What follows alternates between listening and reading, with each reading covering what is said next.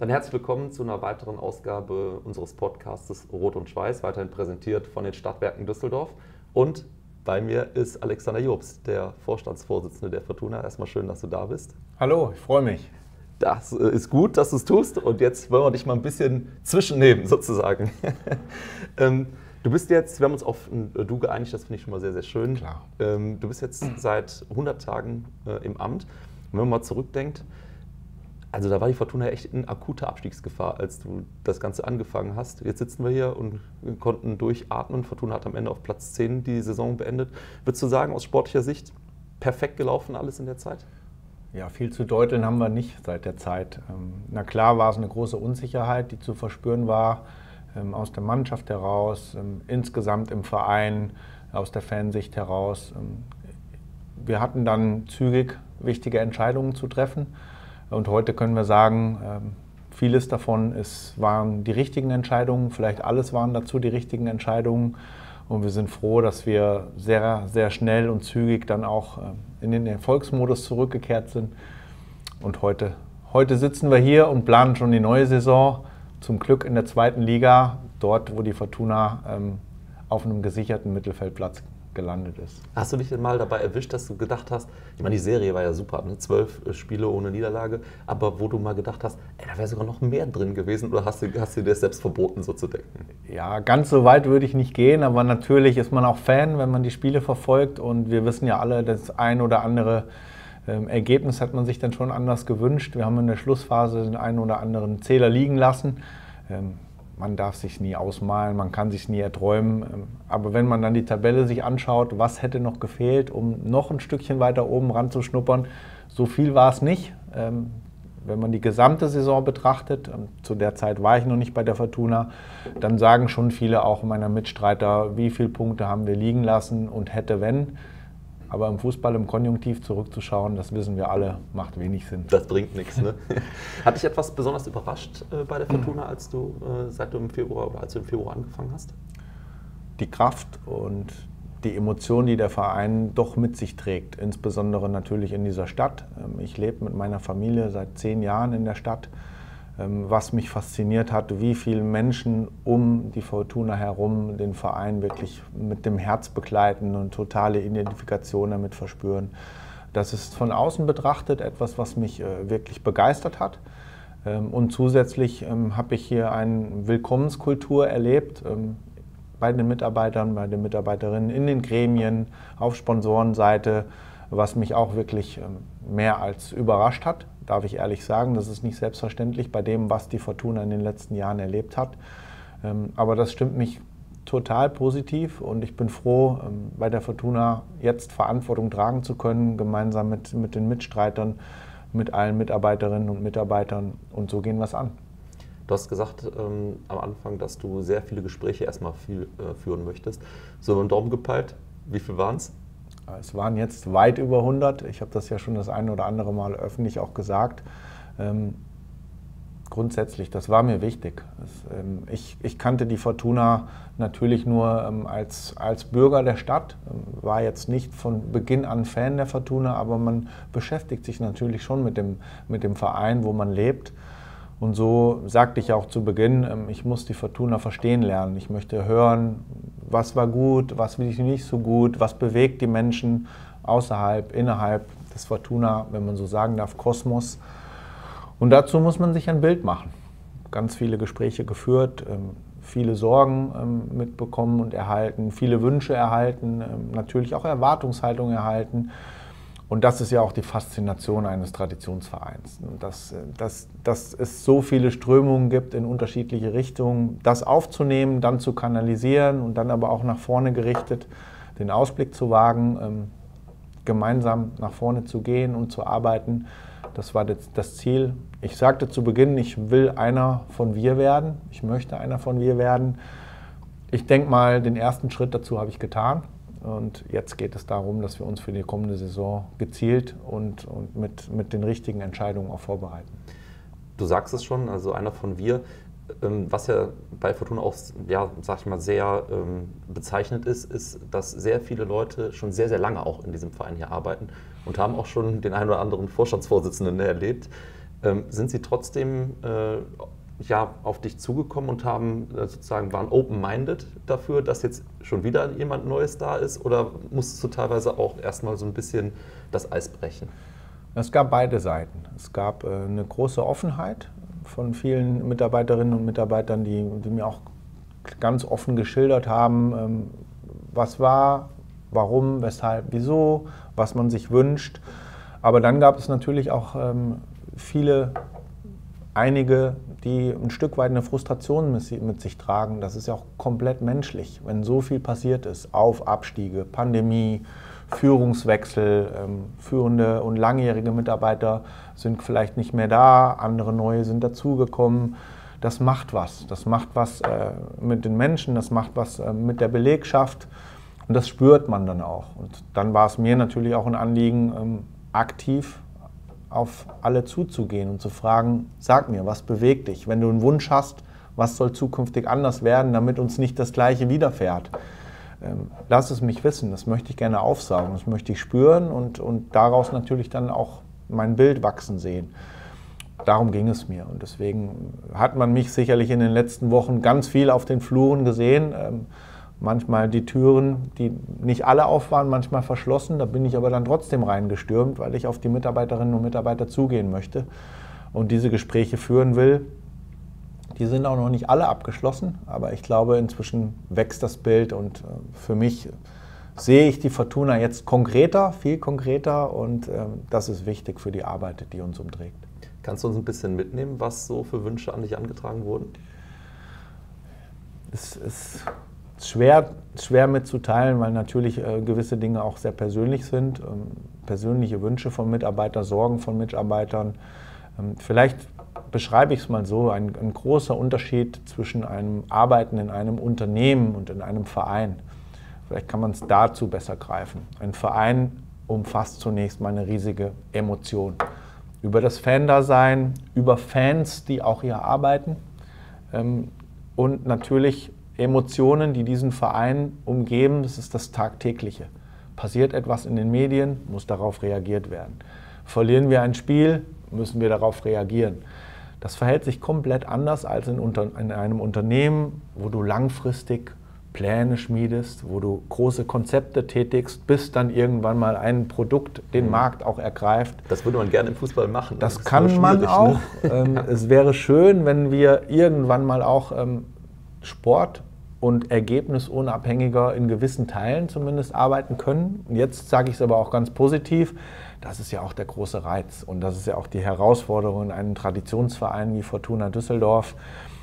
Diese Volatilität, dieses Hochs und Tiefs, die Emotionen, die uns begleiten, das zu kanalisieren und entsprechend auch damit umgehen zu können. Ein Stück weit die Rationalität beibehalten, die auch von mir erwartet wird in, in der Position, in der Verantwortung, in der ich nun mal bin, aber gleichzeitig dann auch Emotionen zu verstehen. Und wenn aus Fansicht etwas kommt, wenn aus Sponsorensicht etwas kommt und wenn aus Mitarbeiterinnen und Mitarbeitersicht etwas kommt, dann muss man das orten können und dann muss man sagen, okay, verstanden, wir gehen in diese Richtung und dann aber in aller Offenheit und Transparenz auch erläutern, warum wir in diese Richtung gehen, weil das schaffen über 25.000 Mitglieder und ganz, ganz viele tausend Fans auch und werden sie verstehen. Man wird es nie allen recht machen können. Wichtig ist, dass die Fortuna bei sich bleibt und dass die Fortuna so ist, wie sie ist. Aber modernisieren, ein Stück weit weiterentwickeln, ich glaube, das ist die Aufgabe von uns allen und das wird auch in der Geschäftsstelle von allen so getragen werden. Da bin ich sicher. Gehen wir mal ein bisschen auf deinen Werdegang ein. Äh, du bist 1974 in Fulda äh, mhm. geboren. 73. 73. Ja, ah, ja, ein Stück mal, weit älter, wie du mich beschreibst. Richtig noch jünger gemacht, okay. Ähm, bist aber dann zum Studium, ich hoffe, das stimmt, nach Bayreuth gegangen. Ja, so. Ähm, und hast da äh, Studium der Sportökonomie mit mhm. Diplom abgeschlossen. Mhm. Hast du eine gute Erinnerung an deine Studienzeit? Ja, war eine prägende Zeit. Also ich war kein guter Student. Wie sagt man so schön, ein gutes Pferd hüpft immer nur so hoch, wie es muss. Was ein Dimido-Student. das sagst du jetzt. Ähm, ja, Bayreuth war eine tolle Zeit. Also Sportökonomie, das ist im Grunde das, das Sportmanagement mit Teilen der Betriebswirtschaftslehre, des, des Rechts, des Sportrechts und aber auch dann des Sportmanagements. Ähm, und Sport gehört auch dazu, tatsächlich, auch wenn das heute nicht mehr so gefragt ist in unseren äh, Positionen. hat mich sehr geprägt, die Zeit, äh, weil es eine schöne Stadt ist, eine kleine, überschaubare Stadt ist, äh, viele, viele Studenten. Man entwickelt sich weiter in seiner Persönlichkeit und relativ früh im Studium ist bei mir dann schon aber auch die Überzeugung gereift, so in dem Fußball, wo ich schon immer das Fan-Dasein begleite. Ich komme aus Hessen, wie jeder weiß. Dort gibt es auch einen Bundesligist, den habe ich halt als Kind auch sehr stark mitverfolgt. Der Fußball und die Entwicklung des Fußballs, das reizt und dort würde ich gerne mal beruflich Fuß fassen. Das habe ich relativ frühzeitig im Studium für mich auch festgestellt. Und dann gab es irgendwann mal auch nach erfolgreichem Abschluss des Studiums den Examensball. Und ich weiß noch, ich hatte ein total hässliches Sakko an. Und dann fragte mich der eine oder andere Mitstudent, wie läufst du denn hier rum? Da sage ich, so will ich mal irgendwann im Sportstudio sitzen. Bis zum Sportstudio habe ich es nicht gepackt, da will ich es auch gar nicht hinpacken. Aber irgendwie kommt dann die Bilder zusammen und man weiß, ja, man ist jetzt in der Position, wo man so viel Verantwortung trägt und man wusste schon früh im Studium, da möchte man hin. Ich darf ehrlich sagen, die Tätigkeit, die ich ausübe, das ist nach wie vor ein Traumjob für mich. Schön, dass man das sagen kann, ja. Das ist so. Aber du bist ja erstmal bei Siemens äh, gelandet, aber hast da ja auch schon mit dem Sport zu tun gehabt und bist auch schon in Kontakt gekommen mit Bayern München und Real Madrid. Mhm. Ne? Und bist dann 2005 äh, zu Real Madrid gewechselt und zwar ins Marketingmanagement mit Leitungsaufgaben, wie es so schön heißt. Und das als erster Ausländer ja. bei Real. Bist du da erstmal so ein bisschen kritisch beäugt worden? Ja, das definitiv. Also vielleicht kurz zur Herleitung. Ähm, ich war bei Siemens äh, verantwortlich, damals in Blütezeiten des Mobilfunkgeschäfts, für ganz viele Engagements von Siemens im Fußballbereich, äh, Sponsoring-Engagements, unter anderem Real Madrid. Und irgendwann ist Real Madrid, das Präsidium, das Management auch auf mich aufmerksam geworden und man fragte mich dann, äh, du, kannst du dir nicht vorstellen, auf unsere Seite zu wechseln? Zu der Zeit, ich kann es ganz ehrlich sagen, ich wäre dahin gekrabbelt. Ich wollte gerade sagen, das ist auch ein Traum, der in Erfüllung ne? gegangen ist. Also, ja. Real Madrid, diese Stadt, ich kannte und konnte die Sprache nicht. Ich bin also wirklich blank dorthin.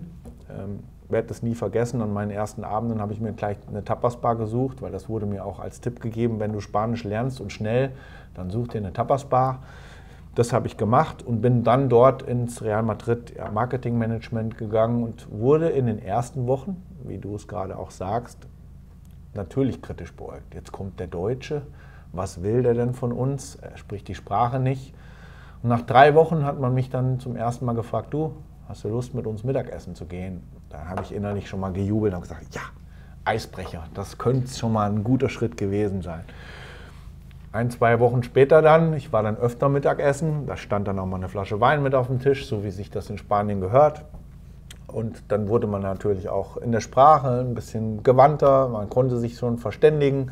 Und irgendwann sagte mir dann ein ehemaliger, heute ehemaliger Kollege, heute Freund, du weißt du was, du bist gar kein typischer Deutscher.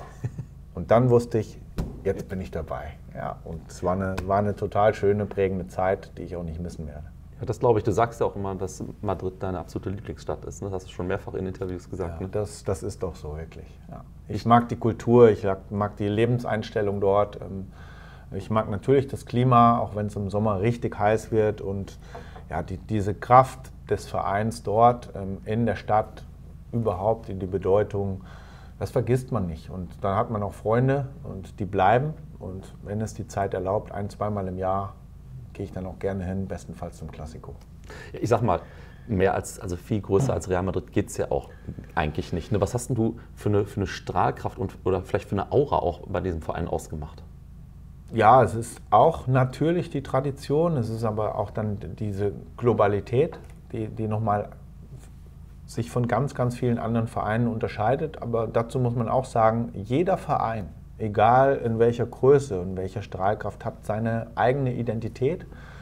Und deswegen, ähm, wenn ich gefragt werde, Vergleiche zu, zu zielen zwischen anderen Vereinen und zum Beispiel Real Madrid, dann fällt mir das unheimlich schwer.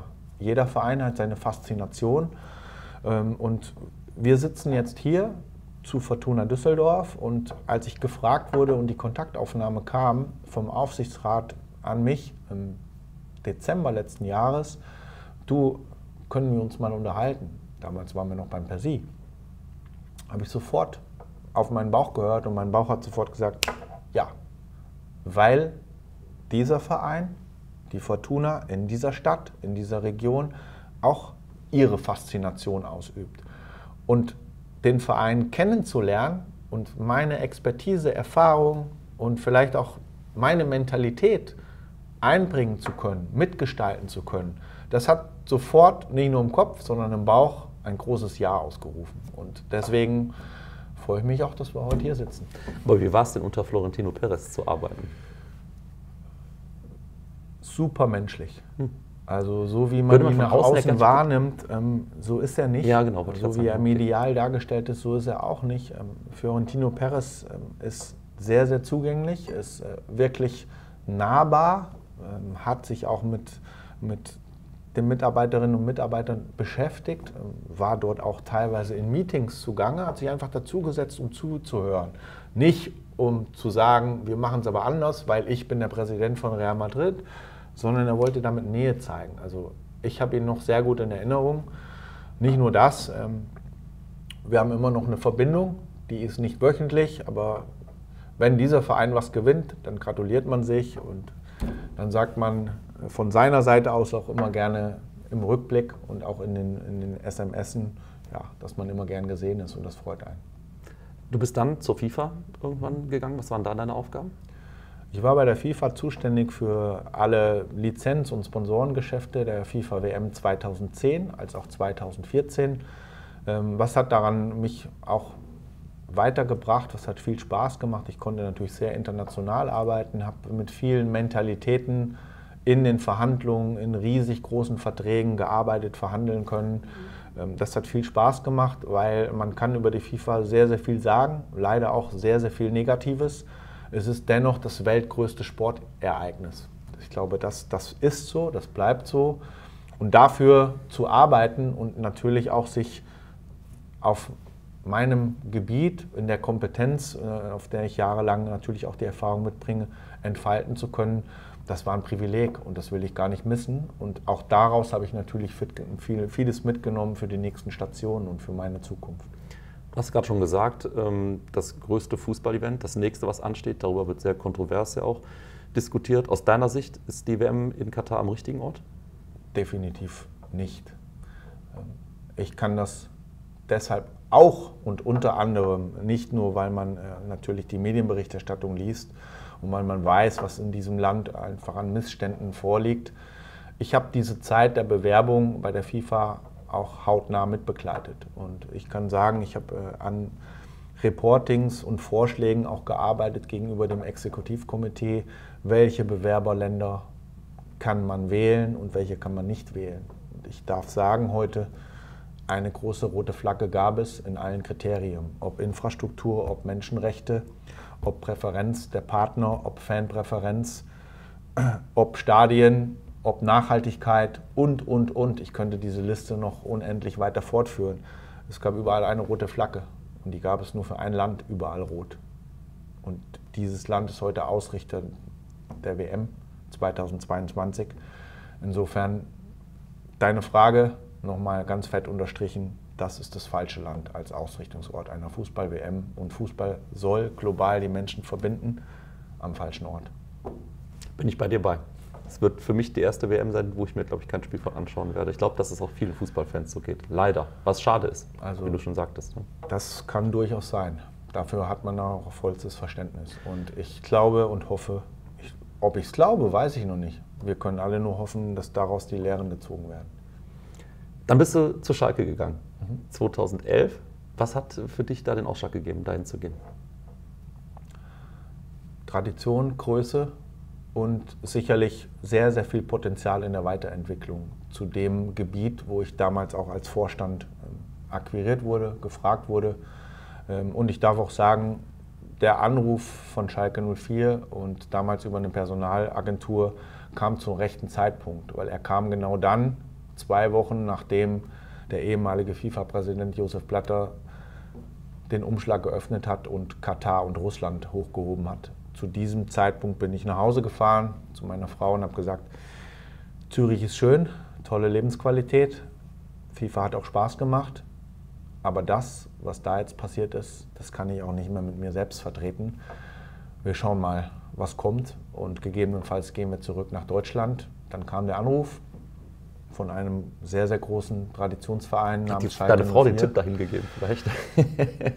Nicht ganz. Ruf doch mal meinen Mann ich, an. Ich darf dir sagen, also meine Frau von und damals noch äh, mit der einen Tochter, damals zwei Jahre, meine Frau von Zürich Richtung Gelsenkirchen zu bewegen, war vielleicht mit die größte Verkaufsleistung in meinem Leben. Ähm, ist dann gelungen, weil wir auch natürlich in Düsseldorf unseren Wohnort gefunden haben. Wir wohnen im Norden, wir wohnen in Wittlar, wirklich fast schon dörflich, ähm, wunderbar familiär eingebunden, haben unser soziales Umfeld bekommen und erhalten und fühlen uns pudelwohl dort. Die Wegstrecke zum damaligen Arbeitgeber war nicht weit und es waren auch zehn sehr, sehr intensive Jahre, die ich da verlebt habe. Die letzten zwei Jahre war nicht schön, darf ich ehrlich sagen, ähm, hatte, hatte viele, viele Gründe, die wir heute nicht ausführen. Ich habe mich aber genauso gefreut, das darf ich auch ehrlich sagen, dass dieser Verein jetzt den Wiederaufstieg geschafft hat. Ähm, dann, da fühlt man natürlich schon noch mit, das ist auch ganz menschlich. Aber die Zeit ist für mich persönlich abgeschlossen. Also das hat gebraucht. Ich habe auch mal bewusst eine Auszeit genommen, nachdem ich dort im Juni letzten Jahres aufgehört habe. Ähm, diese Auszeit brauchte ich, um zu reflektieren, was hat man gut gemacht, was hat man vielleicht auch für Fehler gemacht. Und man hat Fehler gemacht und diese zu reflektieren und in seiner neuen Station anders anzugehen, anders zu machen.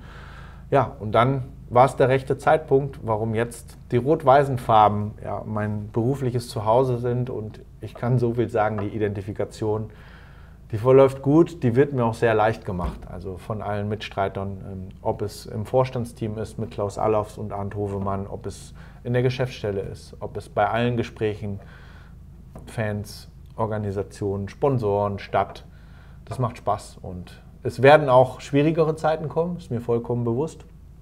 Aber Erfahrung, Kompetenz, Menschlichkeit gehören dazu und die werden hoffentlich dazu verhelfen, dass wir auch durch den einen oder anderen Sturm gehen, der dann irgendwann mal wieder kommt, weil sonst wäre es auch nicht Traditionsverein. Vielleicht eine sehr persönliche ähm, Frage. Du warst ja bei ähm, Schalke auch äh, Anfeindungen mal ausgesetzt, äh, bis hin zu Morddrohungen, wenn ich das richtig im, im Kopf habe. Ähm, also das ist ja schwer vorstellbar, wenn man es nicht selber erlebt hat. Also trotzdem die Frage, wie bist du damit umgegangen und wie hat dich das vielleicht auch weitergebracht? Es war keine schöne Zeit, weil äh, meine Familie als einzige auch als erstes registriert hat, dass das etwas mit mir macht. Also insbesondere natürlich meine Frau und meine Kinder, äh, die mich in der Zeit, in dem diese Drohungen kamen, äh, haben mich anders erlebt. Ich war dann nicht mehr der Alex, den man kennt, sondern ich war natürlich eingeschüchtert. Ähm, ich war ängstlich. Ähm, dann kann man auch seinem Verein nicht mehr das geben, was man möchte. Ähm, und für mich war schlichtweg eine Grenze überschritten. Ich will ganz klar sagen, hier geht es nicht um die Fans, hier geht es auch nicht um die Ultras, sondern hier geht es um ein paar Einzelgänger, die einfach weit über das Ziel hinausgeschossen sind. Und wenn dann eben Briefe nach Hause kommen, wenn die Polizei dir rät, Personenschutz und stellen Sie bitte eine Kamera zu Hause auf, und schauen Sie, dass Sie bei Tageslicht die Geschäftsstelle verlassen, dann ist irgendwann ein Punkt erreicht, wo man sich sagen muss, bis hier nun nicht weiter. Und das habe ich dann getan. Ähm, ist mir sehr, sehr schwer gefallen. Ähm, aber ich wusste dann auch in der Zeit, die danach kam, mit der Auszeit, dass ich diese gebraucht habe und ich war schlichtweg platt. Und ich konnte dem Verein auch nicht mehr das geben, was man von mir erwartete und was ich selbst von mir erwartete. Und das war der Grund, warum ich dann auch nach zehn Jahren gesagt habe, jetzt ist gut, die Zeit ist abgeschlossen. Vielleicht noch was Positives aus der, aus der Schalke-Zeit. Was war das für dich denn für ein Gefühl, als die Reallegende Raoul im Schalke-Trikot äh, aufläuft? Das muss ja für dich ein Festtag gewesen sein, oder? Ja, absolut. Also Raoul und ich haben heute noch eine Verbindung. Wir kannten uns schon aus der Madrid-Zeit. Ähm, ein, ein, wunderbarer Mensch, nicht nur, nicht nur eine Spielerpersönlichkeit, sondern seine, seine Art, wie er den Fußball sieht, wie er den gelebt hat, wie er in nur zwei Jahren dort natürlich auch zur Legende wurde und, und geliebt wurde das ist nicht nur das Spielerische, sondern es ist auch der Mensch. Und äh, wir sind heute noch im Kontakt und äh, wenn ich in Madrid bin, dann, dann, suchen wir uns auch und finden uns auch. Ja, einfach eine tolle Persönlichkeit, die ich da kennenlernen durfte.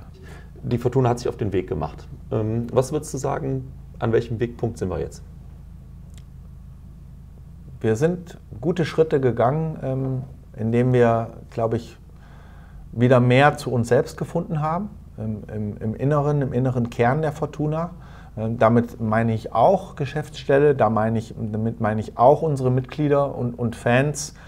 Ähm, durch die sportliche Erfolgsserie, die wir jetzt auch mit dem Kommen des neuen Trainerteams und mit dem Besinnen der Mannschaft hatten, seit Februar, darf man so sagen, ähm, ist wieder ein Stück weit Zusammenhalt deutlich zu sehen. Und dieser Zusammenhalt, den wünsche ich mir, darf auch sagen, den erwarte ich mir natürlich auch ähm, innerhalb des Kernteams, innerhalb der Geschäftsstelle, weil wir sind diejenigen, die die Fortuna auch nicht nur verantworten, sondern auch nach draußen tragen. Und es gibt ganz, ganz viele, die schon ganz lange hier sind. Es gibt aber auch viele, viele neue in den letzten Jahren, die hinzugekommen sind.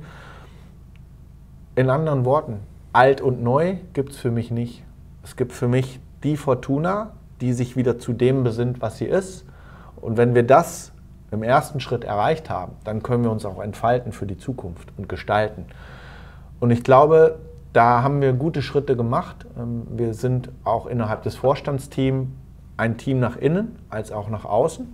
Auch wir mussten uns finden. Auch wir mussten uns kennenlernen. Aber wir haben relativ schnell gemerkt, Arndt Hofemann, Klaus Allofs und ich, dass wir in vielen Dingen auf einer Linie sind man muss nicht immer einer Meinung sein, aber in vielen Dingen auf einer Linie sind. Wir haben ein Ziel. Wir wollen wieder erfolgreich die Fortuna in die Zukunft bringen. Und ich weiß, dass viel passiert ist in den letzten Jahren. Und deswegen ist umso mehr Energie gefragt, umso mehr Behutsamkeit erfragt, gefragt. Aber, und das fordern wir ein, bei allen, bei allen, auch die Bereitschaft, ich höre zu und ich gehe auch den Weg mit, wenn er mir denn auch plausibel und in meiner Vorstellung genehm ist. Das müssen wir einfordern können. Das erwarten wir von uns allen und dazu haben wir auch die ersten Schritte getätigt. Wir werden in der Organisation, in der Organisationsstruktur die eine oder andere Optimierung auch in den nächsten Tagen einfach kommunizieren, ähm, weil wir auch dazu viele Gespräche geführt haben, in welcher Säule, in welcher Abteilung ist welche Verzahnung gewünscht, gefordert. Und dem Thema haben wir uns gewidmet gemeinsam. Und das gehen wir an. Und deswegen glaube ich, wir haben ein paar gute Schritte auf dem langen Weg der Zukunft der Fortuna schon getätigt. Ähm, vieles war schon sehr, sehr lange gut. Viele Prozesse laufen hervorragend. Aber wenn man von außen neu dazukommt, dann identifiziert man natürlich auch Themengebiete, Geschäftsfelder, die noch nicht optimal sind. Das ist ja auch die Erwartungshaltung, sie zu identifizieren mit einer leicht rot-weißen Brille, aber noch nicht komplett eingefärbt. Und diese Rationalität von außen betrachtet zu identifizieren und dann loszulegen, das reizt. Du hast äh, in einem Interview mit der äh, Zeitung mit den großen Lettern hast du was gesagt und zwar, äh, dass der Verein bis Ende des Jahres ein Konzept ausarbeiten will, mit dem äh, lokale Unternehmen an den Club gebunden werden sollen. Was schwebt dir davor? Auch das werde ich dir heute noch nicht verraten können. So ein Ärger. Ich bin jemand, der gerne dann ähm, über etwas spricht, wenn es konkret mhm. ist, was Konzepte, was Strategien angeht. Ähm, das wird ausgearbeitet, das erfordert noch ein wenig Zeit. Ähm, aber was verbirgt sich dahinter? Ich, ich bin überzeugt, dass Fortuna mit, mit seinem Besinnen auf das Wesentliche, mit ihrem Besinnen auf das Wesentliche, klar auch das Bekenntnis geben wird, wir sind eine lokale Kraft in Düsseldorf. Wir benötigen den Schulterschluss mit Stadt und Wirtschaft. Wenn wir Stadt und Wirtschaft wieder als Fan der Fortuna überzeugen können, dann entfalten wir eine Kraft und dazu gehört ein gesellschaftliches Bekenntnis zu auch Themen außerhalb des Profifußballs, wie den Breitensport, wie die soziale Verantwortung, wie Mädchen- und Frauenfußball, wie Infrastrukturmaßnahmen, die Fortuna und der Stadt vorschweben. Und ich glaube, wenn man das klar und transparent aufzeigt, dann werden wir auch Unternehmen lokal, ob Mittelstand oder Großkonzerne, wieder mehr begeistern können für die Fortuna. Es wird nicht mehr ausreichen, sich nur auf den Lizenzspielerbereich Aufstieg, Abstieg zu konzentrieren, um auch große Partner und Sponsoren zu gewinnen, aber auch kleinere. Sondern wir müssen zeigen, für was wollen wir stehen in der Zukunft und das müssen wir in einer vollständigen Transparenz machen. Bis wir soweit sind, braucht es noch ein wenig Zeit. Ähm, auch hier, vieles in der Vergangenheit wurde schon erfolgreich getätigt, aber vielleicht das eine oder andere mal nicht verzahnt und nicht ganzheitlich, sondern aus einzelnen Bereichen oder Abteilungen. Und die Aufgabe für uns wird es sein, es zusammenzufassen und dann nach draußen zu marschieren, aktiv und wieder Überzeugung, Begeisterung zu entfalten. Wenn wir dann zu noch sportlich erfolgreich sind, dann wird uns das auch ein bisschen leichter gelingen. Willst du die Stadt emotional packen? Sie ist ja schon sehr Fortuna-emotional. Also da glaube ich, da müssen wir nur noch manchmal ein Zündholz noch mal auf der einen oder anderen Stelle reinwerfen. Aber insgesamt ist ja Fortuna der Sympathieträger in dieser Stadt. Das spürt man. Mein Moment, wenn ich das sagen darf, bisher, seit ich hier bin, war der Freitagabend gegen Darmstadt 98, wo du eine Glückseligkeit, eine Zufriedenheit, eine Genugtuung, eine Begeisterung in diesem Stadion erlebt hast, in der, in der Arena, wo man sagt, hier ist Kraft, hier ist Wucht, hier ist Emotion und das wollen wir hoffentlich mehrere Spieltage auch in den nächsten Jahren wiedersehen. Du hast es eben schon auch ein paar Mal angedeutet, du wohnst ja schon äh, deutlich länger in, in Düsseldorf, im schönen Wittler da oben. Es ist natürlich auch wirklich echt schön da. Wie hast du damals äh, die Fortuna wahrgenommen, mit dem Blick von ganz außen? Gute Frage. Wenn ich meine Nachbarschaft gefragt habe, das war übrigens vom Fanlager her geteilt, in, in der Spielstraße, in der ich wohne, gibt es schwarz-gelbe, da gibt es blau-weiße, aber die Mehrzahl ist wirklich Fortuna und da auch wirklich Fan. Und wenn ich, wenn ich die Fortuna-Fans frage, wenn es läuft, kommen sie gerne. Wenn es nicht läuft, müssen sie nicht unbedingt ins Stadion gehen. Das würde ich gerne irgendwann mal so in der Antwort erleben, egal ob Sieg oder Niederlage, wir kommen immer. Wir haben eine starke Fanbasis, die kommt immer, die ist auch sehr loyal unserem Verein gegenüber.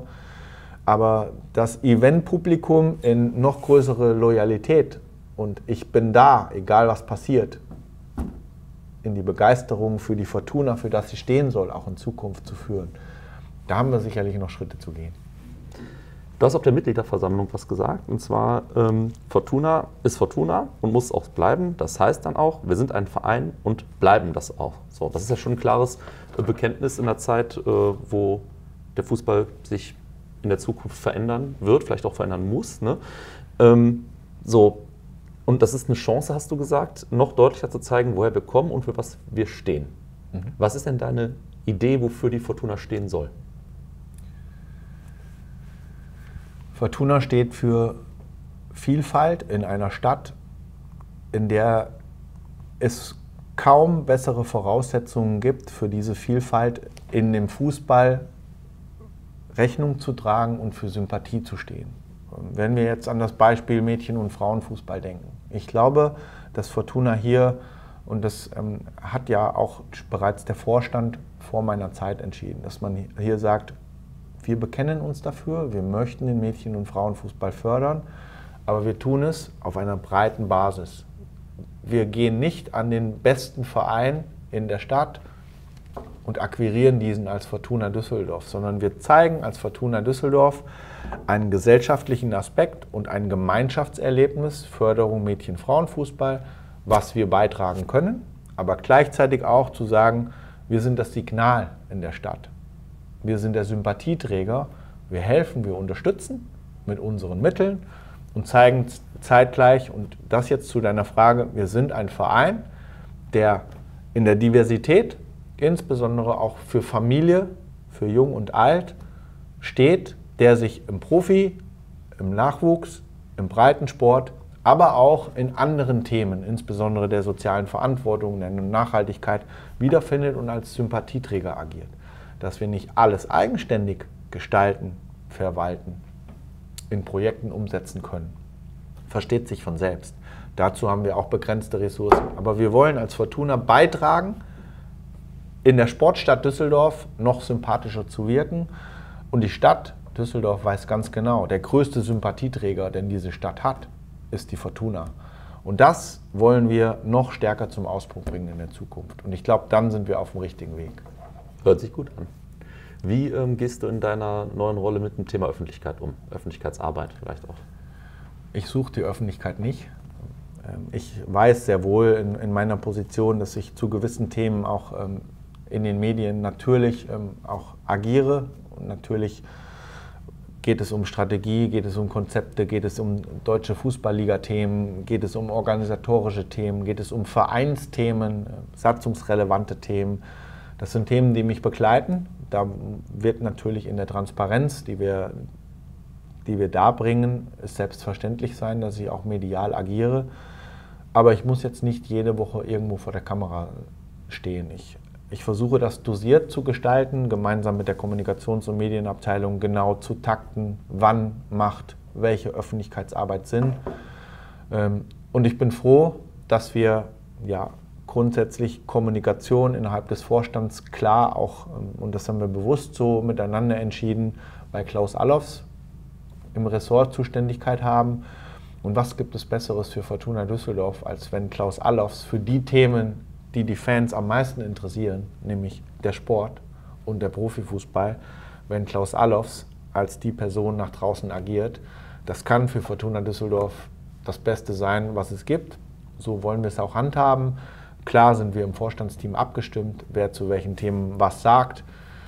Aber mir geht es besser, wenn ich im Hintergrund gezielt mit dem Team arbeiten kann und die Themen der Öffentlichkeitsarbeit nicht so viel Gewicht einnehmen und vor allem nicht so viel Zeit einnehmen, wie die tatsächliche Arbeit, die gemacht werden muss.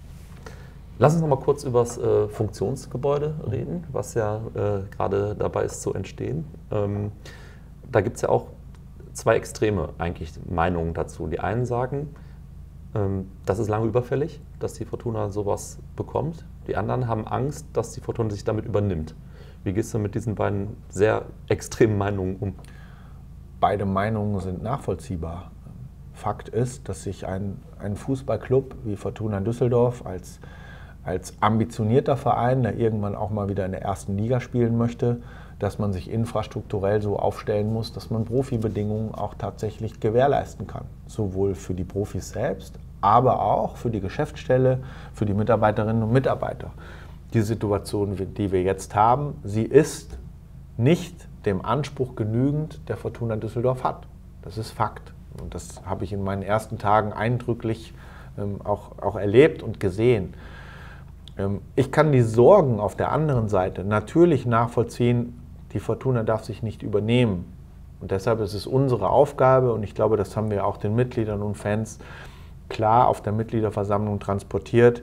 Wir gehen dieses Vorhaben des Funktionsgebäudes Schritt für Schritt an. Wir sind jetzt gerade dabei, dass wir die Baugenehmigung erarbeiten und dann einreichen. Wir haben dann immer noch die Möglichkeit, sollten irgendwelche unvorhergesehenen Ereignisse eintreffen, kommt die Pandemie zurück. Was, was wird aus dem Ukraine-Krieg möglicherweise noch an Einfluss auf den Fußball auch übertragen werden und auf die Gesellschaft und, und, und. Wir werden wirtschaftlich sehr sorgsam agieren und sagen, wir tun das, was wir uns leisten können. Natürlich auf der einen oder anderen Seite wollen wir auch finanzieren, aber das muss dann gepaart sein mit unserem Gesamtwirtschaftsplan über die nächsten Jahre. Und wir haben unseren Mitgliedern signalisiert, wir geben eine Informationsveranstaltung, sobald tatsächlich auf den Knopf gedrückt wird, Bagger können kommen, Bagger können rollen. Und in dieser Informationsveranstaltung wird ganz transparent aufgezeigt, was haben wir vor, welche Mittel werden zur Verfügung gestellt, woher kommen die Gelder, was bringen wir aus der eigenen Möglichkeit rein und wie bauen wir, damit das Fortuna gerecht ist und für Fortuna und seinen Ambitionen uns die nächsten 10, 15, 20, vielleicht auch länger Jahre tragen kann, dass wir es tun wollen. Ich gehe weiter, dass wir es tun müssen. Das ist uns allen klar, aber wir müssen es behutsam und sorgsam tun. Du hast äh, zuletzt auch mal, das fand ich sehr interessant, einen Blick in dein Büro, Büro gewährt. Und äh, da sind zwei Zitate, die mhm. da hängen. Da würde ich gerne mal ein bisschen noch drauf mhm. eingehen. Äh, einmal von äh, Barack Obama und einmal äh, von, von Michael Jordan. Mhm. Nimm uns dazu mal ein bisschen mit, bitte. Das Zitat von Barack Obama sagt, nur weil wir den größten Hammer haben, ist nicht jeder Nagel ein Problem, richtig? Das ist richtig, ja. Dieses Zitat stammt aus einem Interview, was er gegeben hat in der Zeit vor vielen Jahren, äh, in dem Magazin, ähm, wo es um den Syrienkrieg ging und wo er gefragt wurde, wo ist die Weltpolizei? Und was mich an dem Zitat beeindruckt hat, indem er einfach ganz klar bildlich zur Antwort gibt, nicht für alles sind wir der Problemlöser und können der Problemlöser sein.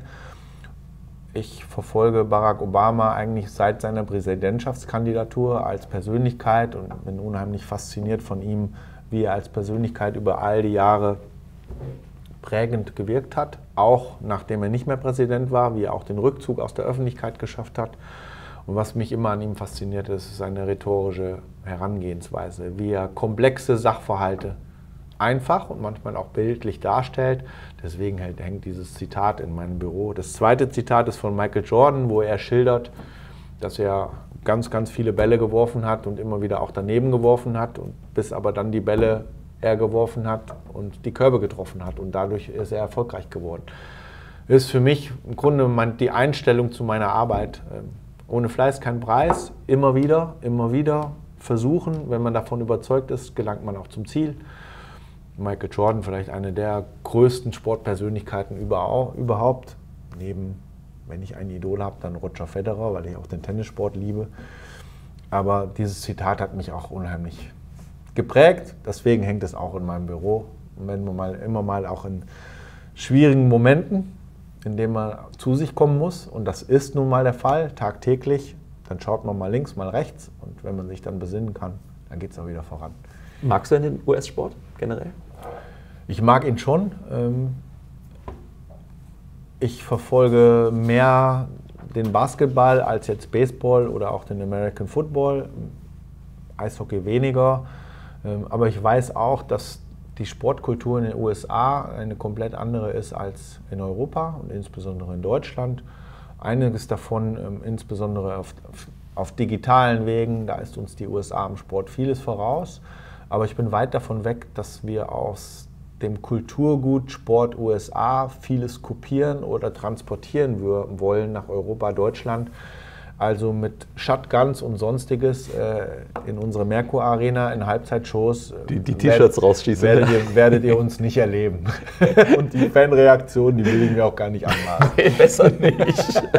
Aber gibt es trotzdem vielleicht Dinge, wo du sagst, ja, da kann man sich schon so ein bisschen was äh, abschauen aus, aus dem ja wirklich ja extremst professionellen äh, US-Sportligen? Ja, die Verweildauer ähm, an der Sportstätte selbst. Ähm, natürlich hat das auch seine Grenzen in den USA, weil man da Gefahr droht, dass manchmal das tatsächliche Ereignis in den Hintergrund rückt und es nur noch um Unterhaltung und Popcorn geht. Aber dass, dass die Amerikaner es ganz klar gewohnt sind, weit vor dem Spiel bis lang nach dem Spiel oder dem Ereignis zu bleiben. Ähm, da haben wir den krassen Gegensatz, insbesondere hier in Düsseldorf. Spieltagserlebnis in dem Sinne, auch da haben wir sicherlich noch für die Zukunft das eine oder andere zu diskutieren, zu besprechen, was wir anders machen wollen, was wir noch besser machen wollen. Aber grundsätzlich geht ja der Fortuna kurz vor Spiel ins Stadion und ist auch danach relativ zügig wieder weg. Das da, hat alles seine Gründe. Ich wollte es gerade sagen. Das hat ganz viel Historie. Das hat alles äh, natürlich auch Möglichkeiten. Was gibt es hier überhaupt genau, drumherum? Ja. Und da sind wir gemeinsam Stadt Fortuna auch gefordert, möglicherweise auch mehr Angebote zu schaffen. Ähm, aber zurück zur Frage, in den USA kopieren Sport zu Europa immer mit Sorgsamkeit betrachten. Wie, ähm, das ist kulturell bedingt. Das, ja, es ist ja auch, wie du schon gesagt hast, ähm, die werden ja auch ganz anders groß mit dem, mit dem Sport. Ne? Das sind dann ja auch Profiligen, da gibt es keinen Auf- und Abstieg, da können Richtig. wir auch Ewigkeiten drüber reden. Also, das ist ja was ganz anderes. Wie kannst du ähm, entspannen? Bei einem guten Tennismatch? Das kommt leider viel zu selten vor, aber ich mache schon viel Sport. Mhm. Fünf, sechs Mal die Woche. Ich gehe meistens entweder morgens laufen, äh, eine knappe Stunde. Ich bin morgens zuständig für die Kinder. Meine Frau geht ganz früh aus dem Haus. Ähm, ich frühstücke dann mit den Kindern, ähm, bringe die Kinder noch zum Bus, zur Bushaltestelle. Das ist so Viertel nach sieben. Und dann gehe ich entweder auf den Fahrradergometer zu Hause, eine knappe Stunde, schaue das Morgenmagazin dabei. Oder ich gehe eine Runde laufen dann duschen und dann bin ich so gegen neun, bin ich eigentlich im Büro oder zumindest in der Teamsitzung zu Hause. Ähm, ich brauche den Sport, neben dem körperlichen noch viel mehr für den Kopf, um meine Bausteine und meine Agenda für den Tag auch entsprechend zurechtzuzimmern. Wenn ich drei Tage keinen Sport gemacht habe, kann ich dir sagen, dann sagt meine Frau manchmal abends, weißt du was, geh erst mal laufen. Ich kann nicht Kannst so du dann unleidlich werden? Ja, kann ich unleidlich werden. Aber wenn ich den Sport gemacht habe, fühle ich mich auch gut gerüstet für den Tag und das brauche ich zum Abschalten. Ich gucke auch gerne mal eine Serie. In meiner Auszeit, die ich ein halbes Jahr hatte, ich glaube, ich habe alles auf Netflix hoch und runter geschaut. Was war dein ähm, Favorit? Queen of the South fand ich, ich sehr, nicht, sehr stark. Haus des Geldes natürlich. Mhm. Was ist Queen of the South? Queen of the South, es geht um eine mexikanische Drogenbaronin, mhm. die äh, irgendwann ja auch das im Drogenkartell so gefangen ist, dass sie auch sich selbst entdeckt und sagt, ist das hier das Richtige, was ich mag. Ich will ja nicht zu viel verraten. Lohnt sich anzuschauen. Ist ähnlich wie die Serie Narcos, nur als weibliche Darstellerin. Ja, die fand ich gut. Also wenn, dann muss ich mir vielleicht mal da mir das anschauen. Ja. Und im Moment, letzte Serie, die ich geschaut habe, Euer Ehren, ARD-Mediathek. Mhm. Kann ich nur empfehlen. Sechsteiler, Psychothriller-Serie, richtig gut, richtig gut. Mit deutschen Schauspielern. Spielt Musik auch eine Rolle für dich? Ja, Musik spielt auch eine Rolle. Ich gehe auch gerne mal mit meiner Frau auf ein Konzert, wenn es die Zeit erlaubt. Lieblingsband, schon viele Jahre, auch schon oft live gesehen. Wird jetzt für viele keine Überraschung sein, weil es eine Band ist, die weltweit halt möglicherweise die populärste ist. Aber ich bin ein großer Coldplay-Fan seit, seit dem ersten Album, was sie eigentlich auch rausgebracht haben. Die sind natürlich live, aber auch wirklich stark. Mega, ne? mega gut, mhm. ja. Ja. Da gibt es wenig, die da mithalten können. Das ist so. Habe ich das erste Mal in Zürich gesehen vor ganz vielen Jahren. Ja. Da waren sie noch nicht ganz so ganz so glamourös unterwegs. Ja. Da kommen wir schon zur letzten Frage. Und das okay. ist eine, die bisher jeder beantworten musste, nämlich, was ähm, würdest du gerne können, kannst es aber überhaupt nicht? Das beantworte ich dir in zwei Wörtern. Fußball spielen. ja, das ist wirklich so. Ich bin, ich bin, talentfrei. Also wenn man mich früher irgendwo in der, in der Mannschaft gewählt, ähm, man kennt das ja, zip zap und du bist ab und dann darf man die Mannschaften auswählen. Da stand dann am Ende noch einer rum und der musste ins Tor. Und dann habe ich gedacht, das kann es nicht sein, Fußball. Ich gehe dann doch zum Tischtennis oder zum Handball. Aber ich bin schon immer Fan und ich glaube, mitreden zu können, wie so viele. und glaube, das Geschäft auch inzwischen zu verstehen, aber ich bin schlichtweg ein grottenschlechter Kicker. Wenn ich es mir wünschen würde, im nächsten Leben Fußball spielen. Und dann Stürmer. Ja, und dann kann ich endlich mit Klaus mithalten. Wunderbar. Danke dir dafür, für dieses sehr, sehr schöne Gespräch, wie ich fand. Spaß gemacht. Dankeschön. Das ist die Hauptsache.